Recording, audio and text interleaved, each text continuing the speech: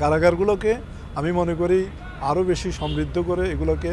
সংশোধনাগার করা একান্তই প্রয়োজন। যাতে করে যারা অপরাধের কারণে কারান্তরালে রয়েছে তিনি মৃত্যুদণ্ডের আসামি হোক, তিনি